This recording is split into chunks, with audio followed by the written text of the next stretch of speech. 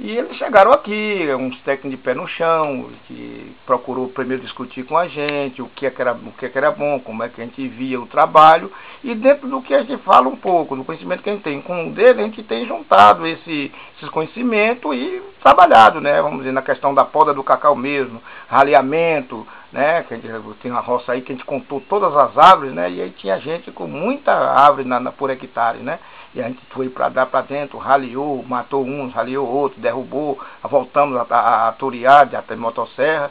E então um trabalho técnico, então um trabalho devagar, com o pé no chão, mas a gente acredita que eles não são meninos de impor, não. São meninos de realmente de trabalhar direitinho. Com, é, uma, é realmente um acompanhamento técnico, né?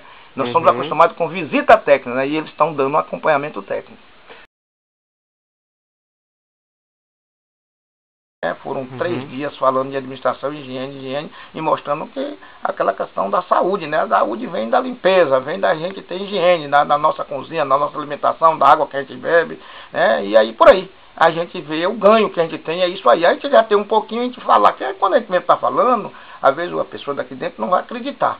Mas quando chega alguém que repite aquilo que a gente está falando, é um ganho para nós, né? Então essa, esse é o, é o principal ganho. A gente tem aqui como uma grande parceira.